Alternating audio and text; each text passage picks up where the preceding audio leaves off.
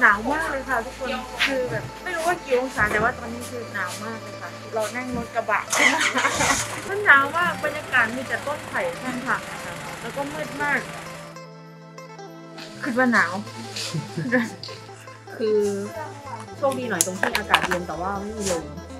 มันอาจจะไม่เป็นอุปสรรคในการทำงานมากแต่ก็รอลุ้นว่าการที่ไปยืนที่หอวานเนี่ยจะเป็นยังไง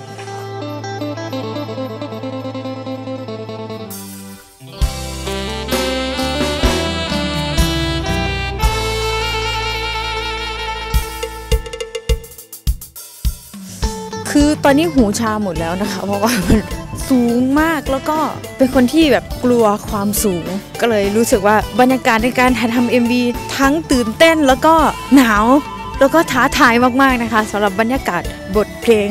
คิดฮอดจังภูลังกานะคะ ฝากพี่น้องติดตามค่ะพี่น้อง ตอนนี้คือหนาวมาก ขอย้ายไปเปลี่ยนชุดก่อนนะคะ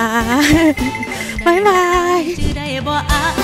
ครั้งหนึ่งที่เราเคยไป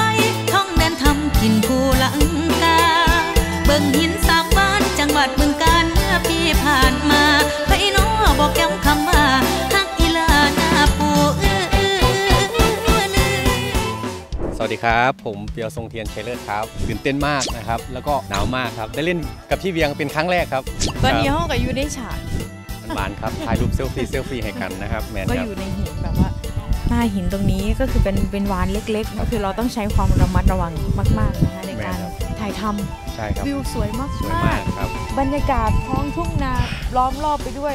ป่าเขาใช่ครับลำเนาไผ่แอบสปอยนิดนึงนะคะ ทุกคน MV เพลงเนี้ยเขาจะมีชุดรำสวยๆ แล้วก็มีนางรำสวยงามมากจริงผู้สาวไลน์มันมาครับๆหลายแห้งผมมาถึงงานแล้วสนะคือทอดบ่อายคือทอดบ่อายมือนี่บึงการ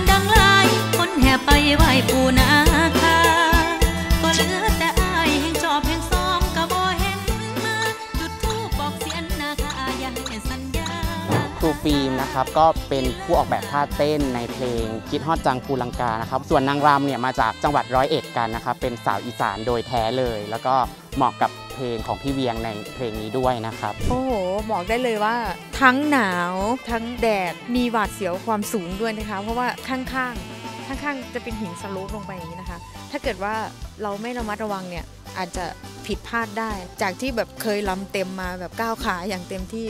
เดี๋ยวพอกันค่ะพี่น้องทีมงานเอื่นแล้วค่ะ ตอนนี้น้องไปเป่าไปทายเอ็มวีเห้แล้วค่ะพี่น้องฝากติดตามด้วยนะคะ